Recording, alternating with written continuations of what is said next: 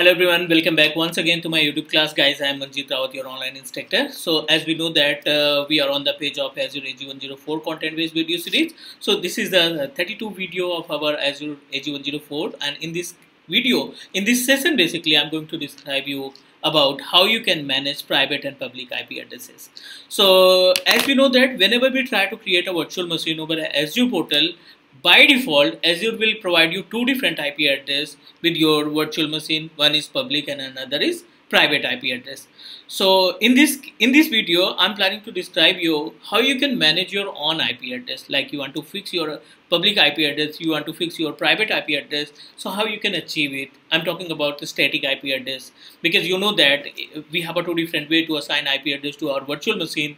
One is dynamic and another is static. So in case of dynamic, it may be changed. If you shut down your virtual machine, if you stop your uh, VM uh, instance, or if you restart your instance, it may be changed. But if you purchase a static IP address, if you fix the public, uh, public or private IP address, uh, uh, it cannot be changed although you are restarting your virtual machine or stopping your virtual machine. So I'm going to give you the proper information about how you can uh, fix the public or private IP address with your VM. So for this particular task, we, you should know few things related to the Azure services. I'm talking about the VNet. So I hope you all of you know about the VNet. I have already created a video related uh, VNet and VNet peering as well. So you can just check the playlist and find the uh, practical related to the VNet.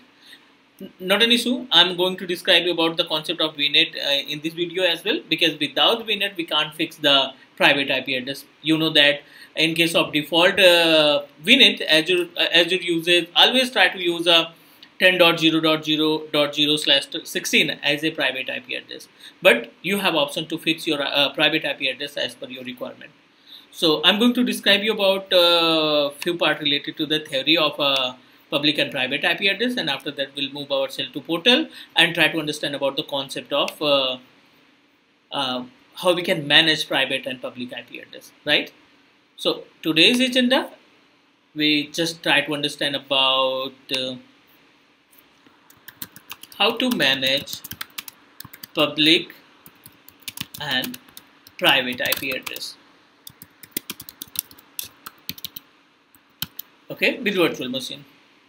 So as we know that we have a default VNet, whenever you create your, your virtual machine without VNet, means I'm talking about the default VNet.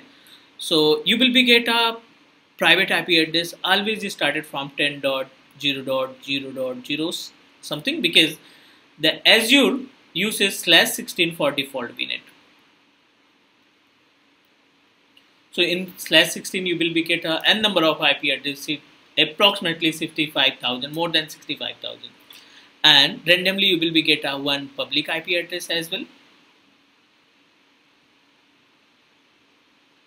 But in this video, I'm going to show you how you can manage your own private IP address and how you can fix your public IP address as well. So for prerequisite, you should know about, first of all, you need to create a one VNet. Under the VNet, we need to create at least one subnet because without subnet, we can't create any kind of virtual machine. Create subnet under VNet. Okay, and after that, we'll create a virtual machine in our own VNet.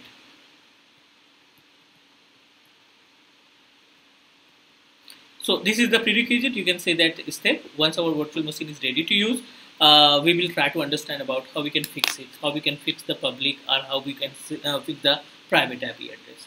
So this is our agenda. Let's move ourselves to portal and uh, uh, first of all, as per the requirement, as per the requirement, we need to create a one VNet. So guys, this is our Azure portal and in Azure portal, you need to click on networking because we need to create a structure of network. And after that we will we will put our virtual machine under our own network structure. So just click on vnet and although I have already created one vnet i'm going to create another vnet so you need to decide the uh, CIDR value or address space as per your requirement like you want to connect up to 100 machines so as per requirement of 100 machine you can decide the uh, uh, subnet uh, you, you, you need to decide the CIDR value or uh, uh, address space value this is my MSDN account, Azure Class 1. This is the container. You can say that resource group. Type the name of your uh, VNet. So I'm going to create a one VNet with name of okay training vnet uh, select any location. So in my case i'm going to create our vnet in location of east us and this is the place. By default azure will provide you 10.0.0.0 slash 16 and in you will be get up to 65536 ip address.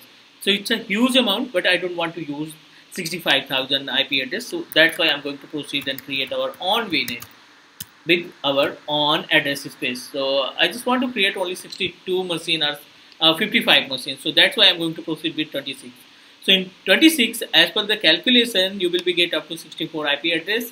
And as we know that uh, uh, Azure will reserve 5 IP address from your entire subnet means if you create if you selected a slash 16 slash 26 as a address space and in same address space you're planning to create a two or three different uh, subnets. So in each subnet Azure will reserve five different IP address so I'm going to use the entire space 192.168.1.0 slash 26 so see we are able to find 65 IP address we will get uh, 65 IP address, but, but we just need to subtract up to 5 IP address because it's reserved by the Azure itself.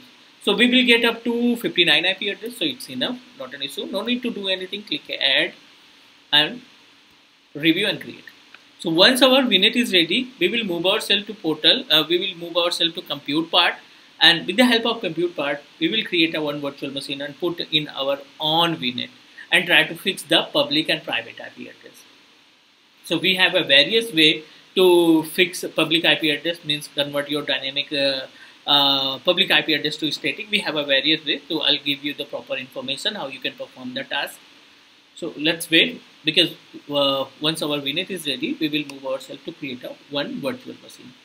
Okay, fine. So our training VNet is ready to use. This is our address space. Go to the subnet part uh, we use the entire space 192.168.1.0 slash 26 so we have a 20, uh, 59 of IP address means you are able to connect up to uh, 59 of 9 types of devices go to the virtual machine and create one VM click create proceed with your own VNet that you created so you need to provide the entire information same like as a VNet like as a, a, a, a subscription, second resource group, Azure class 1, location East US, select virtual machine name. So I'm going to proceed with name of web. Server 22 I'll use a Windows operating system and provide username and password. Those username and password can help you to connect from on-premises. Uh, 3389, yes, we want to access our virtual machine from outside the network. That's why we need to activate the 3389 port networking so we uh, created a one vnet with name of training vnet this is the subnet training subnet no need to do anything just need to proceed and review and create so our agenda our agenda to understand about the ip address management with our virtual machine so it's really important because uh, if your client want to fix the public ip address or private ip address for individual virtual machine or any other Azure resources. So you should know about how we can perform this task. Deployment in progress, not an issue. It will take up to three to four minute times. Uh, time. So our motto to configure private and public IP addresses. So let's try to understand. Once our VM is ready, I'll give you the proper step how you can manage the service of IP addressing.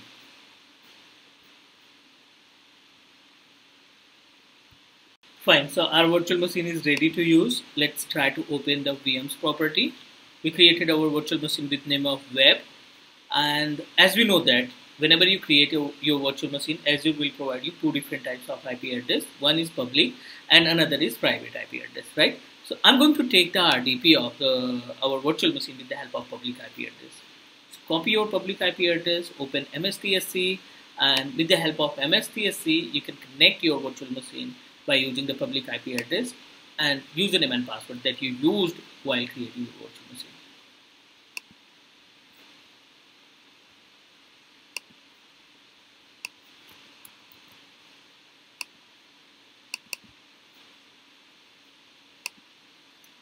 Okay, so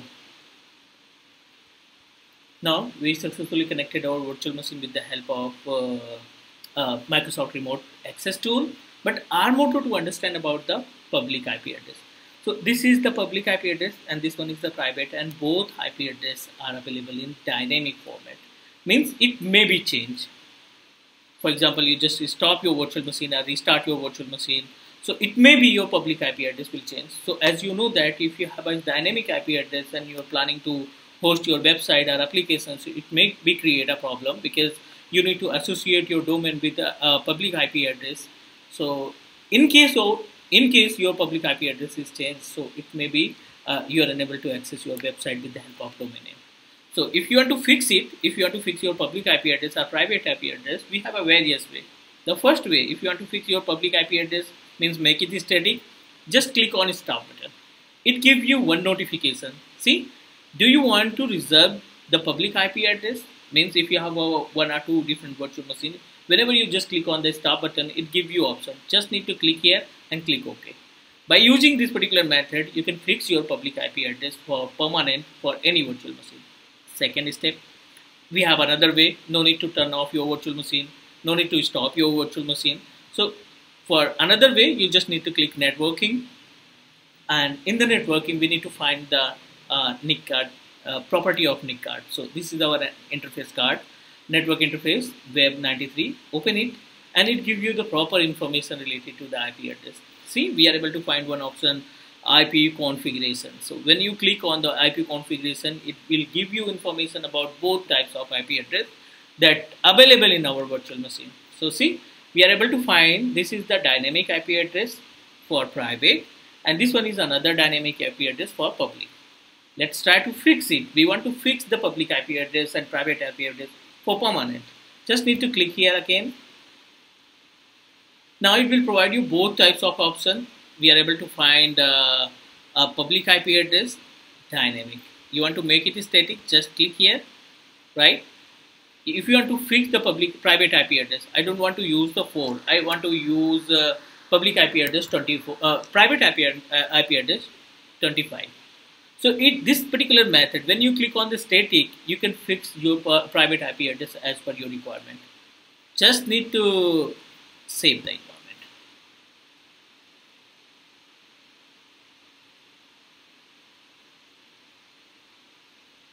Once you save the uh, uh, entire setting, it is fixed for your uh, virtual machine.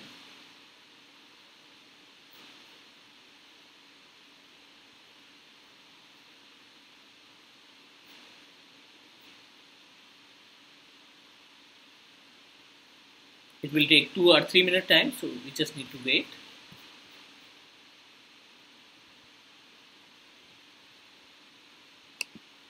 okay so we successfully uh, saved the static IP address for private. Now it's a fix for permanent. Means your private IP address is fixed as per your requirement. Now we need to understand about how you can fix the public IP address without restarting your computer without restarting your virtual machine. So need to open our virtual machines property again and uh, we are able to find both IP address are available. Need to click on public IP address and here we are able to find n number of options are available. Click on configuration again. Whenever you click on configuration, it will provide you two different options, dynamic and static. So just need to click on static because we want to fix the same IP address for permanent and click save.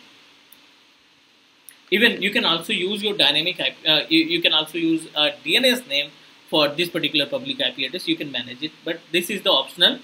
If your organization want to access your virtual machine not with the help of public IP address, means you don't want to disclose your public IP address, so that time you can proceed with DNS. Means with the help of DNS, you are also able to connect your virtual machine. So I'm going to show you, like I'm going to proceed with the, any name like training Azure. Okay, domain name must be unique, right? So I'm going to use the same name in DNS. This is the optional and uh, let's try to connect our virtual machine again by using the public IP address.